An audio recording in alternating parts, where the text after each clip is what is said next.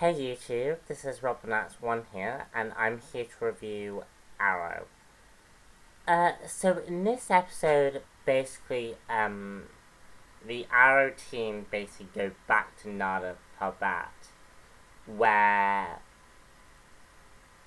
where the team are basically trying to save Oliver from becoming Ra's al Ghul. Um, it's also revealed that Oliver Queen is playing Ra's al Ghul, um, in the hopes that he can defeat um, defeat Ra's from inside, from within his own organization. Um, he is forced to marry um, Nyssa, which happens in the end of this episode. Um, in the flashbacks, we get the revelation of what the of what the um, alpha and omega device actually does.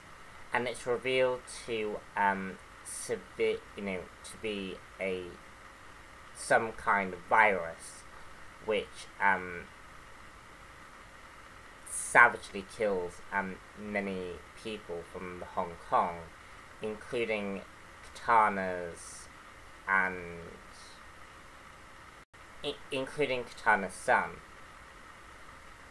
Um, so yeah, that's basically the overall of the gist of what happened in this episode. Um, now, I enjoyed the episode, but there are a lot of problems in this episode. For example, I don't like the fact that they backed out of the fact that Oliver Queen wasn't brainwashed. Um, I think it was interesting in the direction they went um, to sort of put Oliver in the position of becoming a villain um, and becoming this Ra's al Ghul-esque character. I think that could have been really, really interesting. Um, but they backed out at the last second. You know, they they backed out of having that as a character arc, and I just don't like, and I just don't like it. I th this show is better than how it's been this season, and I think the writing could have been a lot better. Sorry, my eyes a bit wonky. Um, so yeah, I I didn't enjoy that aspect. Um, I think it, and and also I do think it was kind of predictable, the fact that Oliver Queen is playing Ra's al Ghul, um, and is willing to sacrifice we know that Oliver Queen is willing to do whatever it takes to take someone down. Um, but I just think it's very, very strange that Oliver Queen is doing it the way he's doing it. Um, also we get Katana's, um, full costume. Now, I actually kind of don't like the costume. The costume looks very weird to look at, and it kind of looks like um,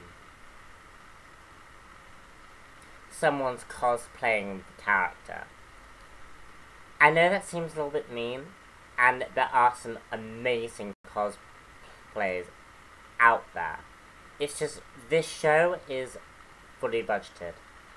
They could surely afford a better costume than the look that they're doing. And also, most recently, um, another katana that's going to be appearing in the Suicide Squad um, appeared as well, and it looks really, really strange to look at.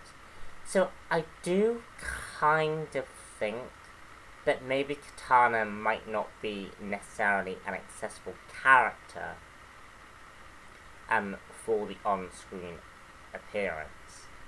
Um, but I honestly didn't dig the costume. I thought the costume was a bit meh. Um, and very much like a cosplay type costume. I think maybe it's because I'm not used to it and I don't follow any of, of Katana's storylines. Um, and, and don't get me wrong, I do like the fact that Katana is in the show. I just, I don't care much for the costume. Um, Ray Palmer again appears in the episode. Um, Ray Palmer must spend an awful lot of time attending to his suit because that suit is not very good at being used. Half the time it gets damaged no matter what he's doing. Um, and I don't know, I just, I really resist Ray Palmer being in this show. Um, I don't think there seems to be any point now to Ray Palmer's character. He certainly hasn't exactly been um, that great of a character. Um, finally, I have to talk about um, the fact that um, Roy Harper has been kind of written out of the show. Basically, um, when Colton Haynes um, sort of left the show, um, it was due to the fact that um, Colton Haynes hadn't um, contract had ended. Why are they not getting this actor to sign on for more seasons? And this just speaks to how this show has lost its focus. Red Arrow Arsenal is a major part of the Green Arrow mythology. Um, because Ray Harper, because Roy Harper, sorry, um, is is the sidekick of Green Arrow. He's a very important character.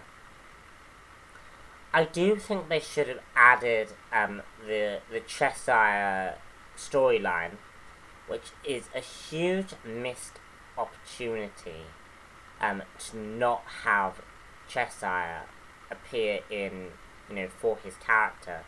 Also, I think they're underusing Colton Haynes as an actor. Um, I will have I will admit I'm not sure about the actor, um, because of his, because, I don't know, he has this sort of rough appearance to him. But he is good in the role, and I do think and I do think Arrow is, is missing the whole point of the character and why he's so important to Green Arrow. Um, I thought it was interesting the fact that they um, called him Jason, as in Jason Todd. So, so I like the sort of the Outlaws reference um, that that appeared in this ep- in this episode. Um, also, it's implied that he may have um, given me Mia the opportunity to become the next sidekick, become the Mia Dearden, the Mia Dearden character. And all in all, guys, there are so many missed opportunities and so many just sheer problems with this season and with this and the writing. Like, cause, cause the stunt work and the and the action stuff is all very good. Um, apart from I didn't think the action was that great in this episode, but the action and the you know and I see what they're trying to do. It's just the writing's not there, the characters aren't developed. And there are just so many problems with, with this season. Um, that what was supposed to be a very, very good season, because Ra's al Ghul is an amazing character, has just become a lackluster season and does not rival what season 2 had created.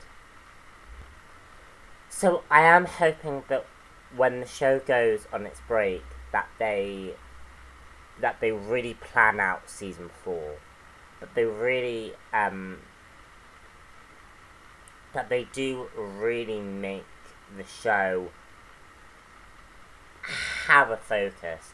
I know that we are getting a new showrunner for the next Arrow you know, season.